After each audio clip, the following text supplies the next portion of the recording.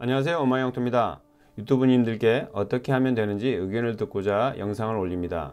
오마이영토는 블로그와 유튜브를 하고 있습니다. 현장 일을 하는 업이라 시공의 기록을 사진과 영상으로 남겨서 그 중 일부를 블로그와 유튜브에 이런 것도 있다 라고 소개 영상을 올리고 있습니다.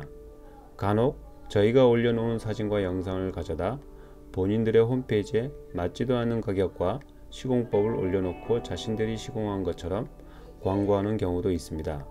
아무튼 본론으로 들어가 봅시다. 지난 2018년 11월 13일 어느 설계 사무실에서 아궁이 만들기 견적을 의뢰하는 전화가 있었습니다.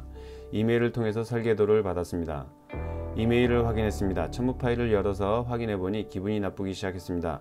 왜냐하면 저희가 시공한 아궁이 만들기 영상을 캡처한 사진이 한쪽에 실려 있었기 때문입니다.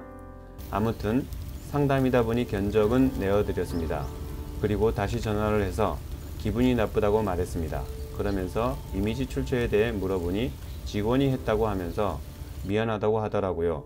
그러시면 그 직원을 바꿔달라고 하니 외군 중이라고 하더군요. 복귀하면 이미지 입수 경로를 설명할 것을 요구하고 수화기를 내려놓았습니다. 이날 이후 어떠한 연락도 없기에 1월 12일 다시 전화를 했습니다.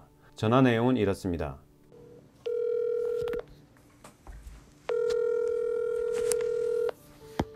여보세요?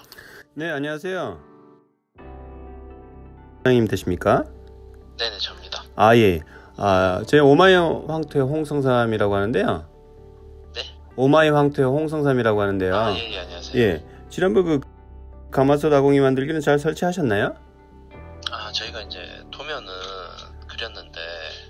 아직 중공이 아니라서 시공 아직 안 들어갑니다. 아, 네. 예, 아, 예. 다름이 아니라 지난번에 그 이미지 도용해서 그 네네. 담당 직원이 하셨다고 하셨는데 그다 그 다음에 과장님께서 그 가타부타 말, 말씀은 없으셔서 네네. 답을 주셔야 되지 않았었나요? 아뭐 이미지는 저희가 그건 제외를 시켰고요. 아, 제외를 시켜도 저희한테 이- 이제 줄 때라든지 어떻게 사용했다는 그 출처라든지 네. 그런 건 분명히 이거 이미지 도용이기 때문에 제가 그런 법적인 채, 뭐 조치는 취해도 될까요? 그러면 법적인 조치라는 게 저작권법 치, 침해지 않습니다. 저희가 예 뭐 이미지를 이렇게 해가지고 상- 좀 아직 이용을 한 게 아니죠. 비상업적이든 상업적이든 이렇게 사용을 하신 것은 저작권 침해를 한 겁니다. 저, 저작권 침해에 그 들어가 보시면 확인할 수가 있습니다. 예, 그러니까- 확인할 수 있어도 제가 저희가 뭐 직접적으로 사용을 몰래 한 것도 아니고 제작자님께 직접 전화를 드렸지 않습니까? 아, 전화 뭐 사용하겠다고 승낙은 받은 적이 없는데요? 저희한테 승낙을 받으셨나요?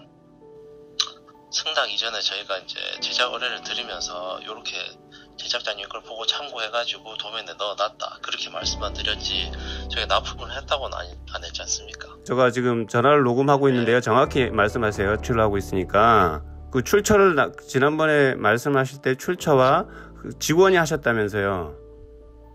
예, 직원 작업을 하긴 했는데 직원이 작업을 했다고 하셨고 직원이 들어오면 그 출처라든지 그것을 말씀을 주시겠다고 했는데 지금 한 달이 지나갔는데도 가타부타 말씀이 없, 없으셨습니다.